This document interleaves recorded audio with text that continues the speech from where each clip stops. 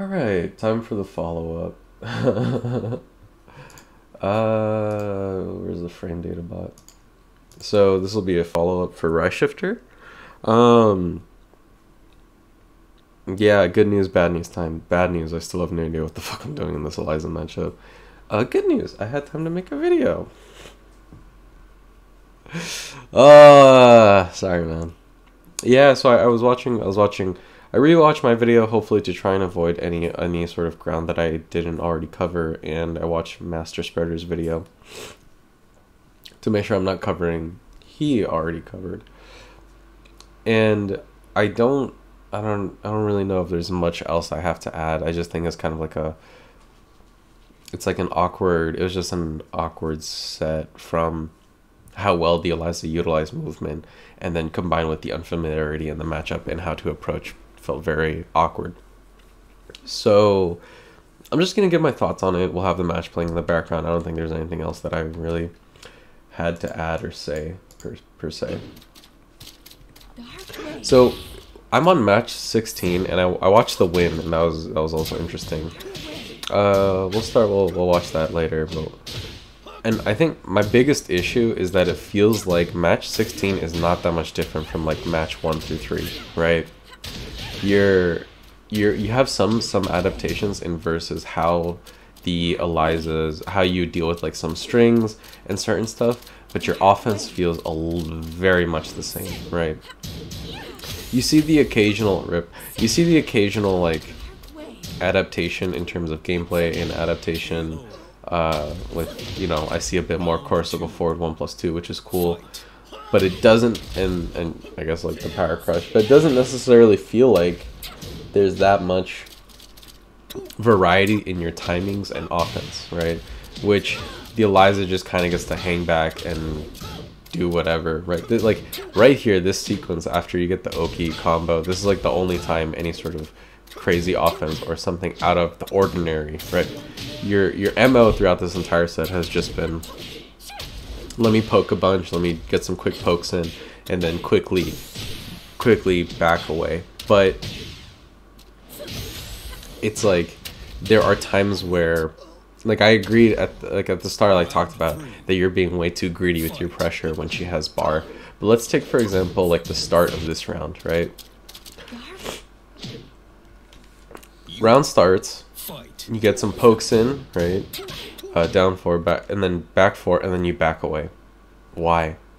Right? She doesn't have any meter she you have enough of a life lead where you can worth like going a bit more aggressive. And in this situation, let's say like she did the backdash into duck, right? But if you did something like quarter circle forward one, who cares if she's holding down forward? You, she can't low parry you, right? You're not gonna have to worry about some crazy invincible offense. You're gonna, she's not, she she's doing the duck. She's not, she's not backing dashing into um into the air dash, right? Um, or into the dive kick. So just little bits of hesitation of trying to press your advantage when the Eliza doesn't have as many resources to work with, stuff like that. And then just overall, you really got to spice up your offense, right? So, so there's two there's two aspects I'm going to talk about: spicing up the offense through utilizing various techniques, mainly like you do a lot of like one two one two and into into pokes. But just doing one two into movement right? So let's because you do a lot of you do a lot of commitment onto the back one uh frame trap right? But a, a sidestep would have achieved a similar result right? Because you're you're utilizing the back one in areas where you would have beaten out a jab. But in those same areas you could just as easily sidestep. And feng's got like an average sidestep. So there's no reason why you can't just also sidestep. Because avoiding the commitment to the move instead focusing on the movement, you can see what the Eliza does and adjust accordingly. You're not committing to like a sidestep move, you just sidestep and then hold back. If she does a move, you go for like a quick whiff punish. If she doesn't do a move, you can so you can go, okay, in the future I don't think she'll challenge me if she sees a sidestep, so maybe I'll implement like a sidestep mix up, right? And then just doing a lot more utilizing of more of Feng's kit. Um, we all have our preferences, and I think I talked about this in the last video, but I'm not necessarily saying you need to change up your full game plan and go all in on sidestep mix-ups and backturn mix-ups, but what I'm saying is there has to be a bit more of a focus on okay, here I'm gonna do jabs into sidestep two and then try to and then do down back from from the back turn to bait a whiff or to create like to see what the opponent does. Gain more information as to what this opponent likes to do. And once i start to notice that they're more passive okay let me do more of my more of my more risky but rewarding options right? Um unfortunately we can't have we can't all have Cooney back turned down to god that low is so dumb. But however right you you have these options. And because the eliza never really had to deal with it that much it just never felt like basically you you weren't using Feng's one of Feng's strongest options where you know he's the fucking turtle cracker he has all of these options that mentally tax the opponent right it's it's like yoshi and any of those mix-up characters it's like you have a huge bag of tricks however the plus side of Feng is that these bag of tricks, these moves are actually pretty solid, right? They're not overpowering or amazing, but they're awesome and they're there.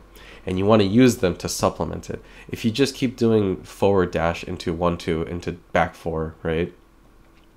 But you do let's say a forward dash into a sidestep and then block, right? Don't don't commit to a move like right here. You do you do quarter circle for one plus two, quarter circle one, and then you dash forward into back three three where the evasiveness clearly doesn't work out because you're doing a move from the sidestep, right?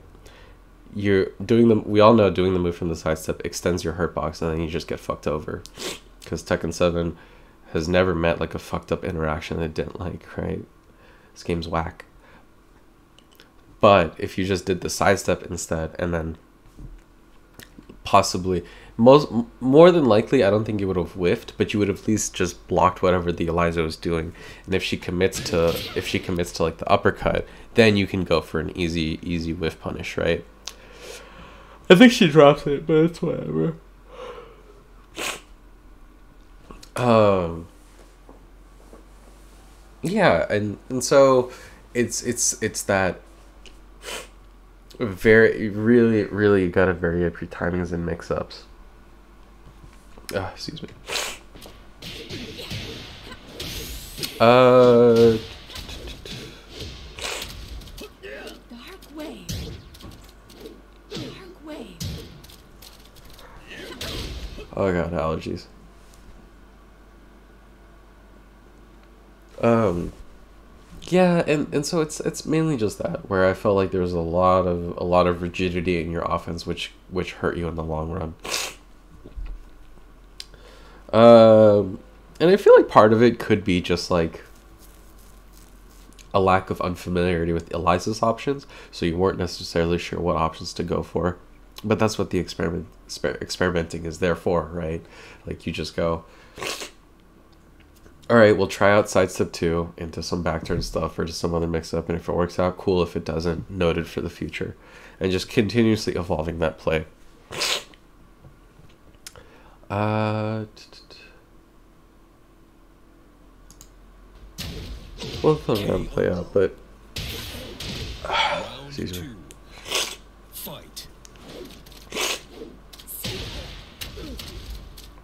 I'm. This is okay. So we're gonna dive into a bit more personal opinion stuff, but I don't know how much that lasts. So we'll we'll we'll just do. What other anything on combos? Punishment's rough. I mean, it's that situation of you gotta you gotta just focus on, you know, learning that matchup. It is what it is. Um, there are certain areas where there are certain areas where it's like questionable decisions, like right there with the slash kick, and then we'll see like right after this. Like, what a, what about this match so far has led to you to go, okay, my opponent, who has been dashing around the entire round, has been has been very um, has been very you know that like it's really hard to pin this Eliza down, right? What about this Eliza has suddenly made you go, all right, I'm just gonna do a slash kick and three, a tilde four, and it'll work out, right? So questionable, questionable kind of adjustments to that. Obviously, it's tricky for Feng to like lock down a character at ranges, right? Round four. But doing stuff like forward forward two, doing stuff like back four when the Eliza rushes in at you, stuff like that that can like that'll that'll discourage uh, like ideally discourage some of the sidestep stuff going on. Um, like right here where where you got the three to three tilde four Fight. AO. Dark way. as maybe as risky as it is, but that should have been you know down forward three plus four, right? And so stuff like that, where it's like okay, you have to you have to you have to do more in order to make sure that you're actually locking down the opponent and you're not just like all right uh, i'm gonna hope that this move works out in my favor. Uh combo slash i thought your combos were fine. Oki was fine.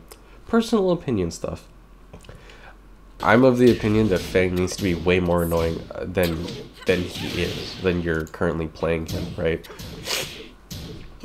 was it this round yeah yeah, yeah i think it was this round wait Okay, so look look look at this right here, right? She runs in. She runs in. Dark way. Oh, Dark way. fuck it up.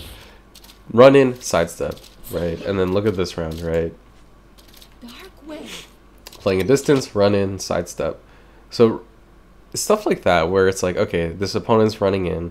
I'm cl- she's clearly just gonna she's she's gonna focus more on like okay, the opponent's running in. They've sidestepped a bunch. I don't think they're gonna, commit to a move. Let me do back four to keep them in check. Stuff like that. Um, but sorry, tangent. Um,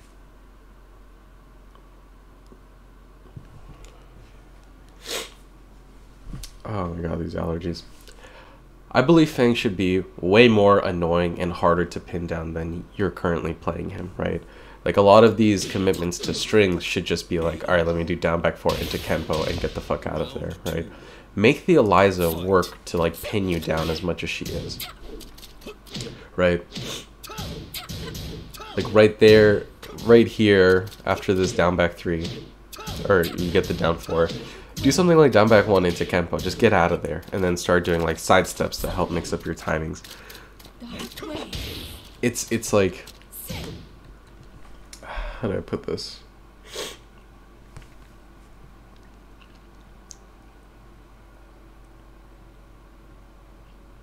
The the the aggressive nature didn't mesh well with the tools you were utilizing at the time.